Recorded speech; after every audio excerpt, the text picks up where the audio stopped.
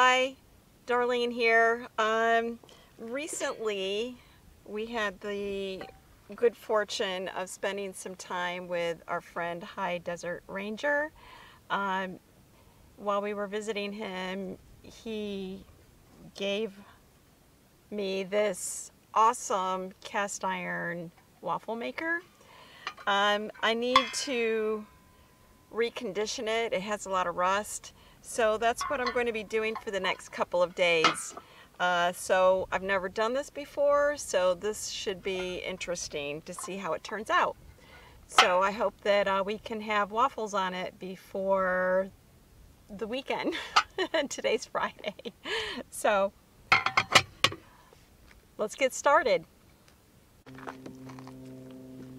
First thing we need to do is um, this is a soft wire brush. It's just kind of knock off some of the debris and rust that's on it. Um, see if we can get closer so you can see. It's just kind of knocking off some of that rust. This won't hurt the cast iron. Um, it's a soft bristle.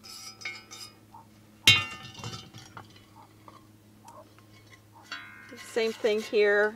You can see it's already getting some of the rust off.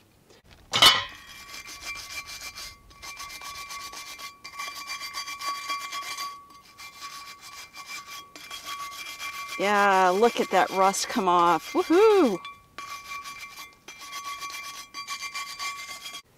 Whew, that was fun. Took a little bit of elbow grease there.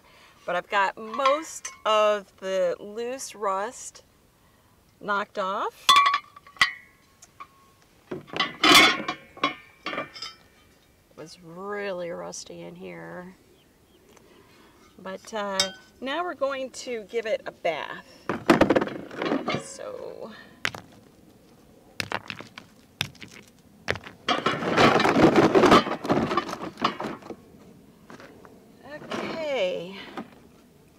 just going to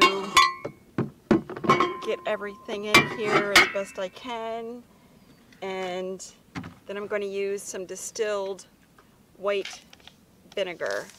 Um, I did a little bit of YouTube research and uh, that's what I found as one of the best things to use. You can do some kind of an iodized bath, you can, or electrolysis bath or something. Um, Coke, people have actually used Coke to take the rust off of uh, cast iron, but it seems like the distilled white vinegar works in most cases. And I don't really think the rust is that bad. It's just not something I'm used to. So um, but we will find out. All right.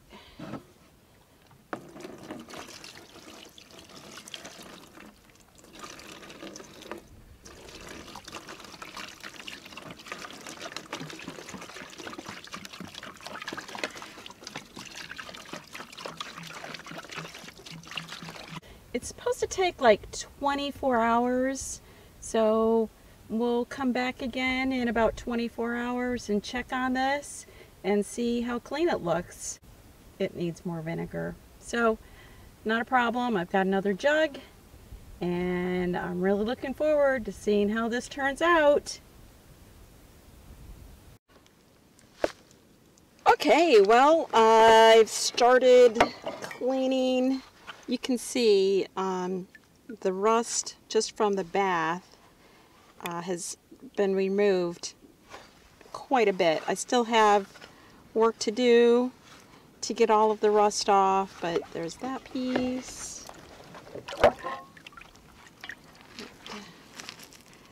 This, all of this was very rusty prior to starting this process, but it's cleaning up very nicely.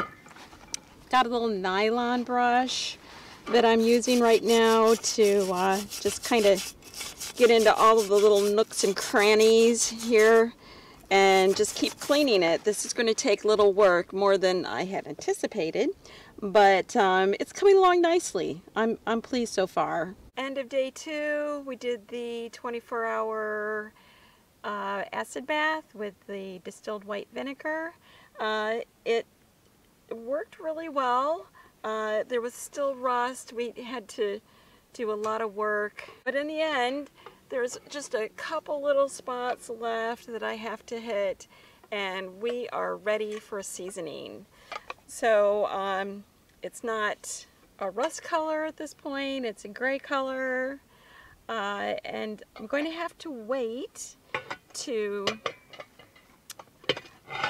season uh, will, which will be the next step in the process because we had a little problem with our oven. Uh, so Clint's fixing that, which will be another uh, video later on. Um, so it'll not be waffles this weekend for sure because tomorrow is Sunday and we have to fix an oven. well, Clint got the oven fixed. So now I am seasoning everything up.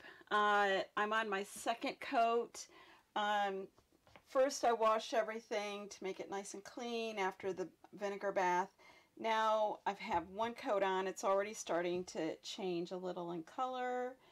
And I'm ready to apply the second coat.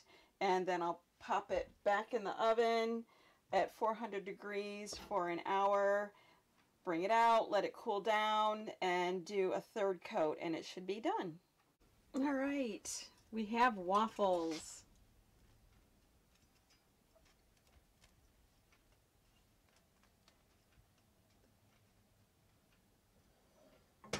Ta-da! Here's the final product. Look at that. Yeah. Just look at it.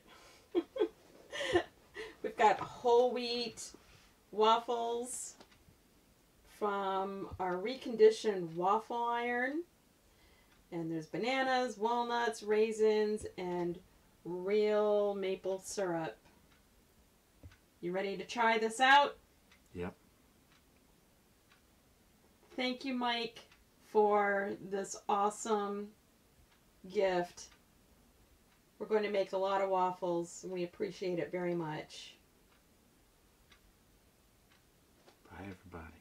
Happy trails. Peace. All right, turn that off because we can eat. Okay.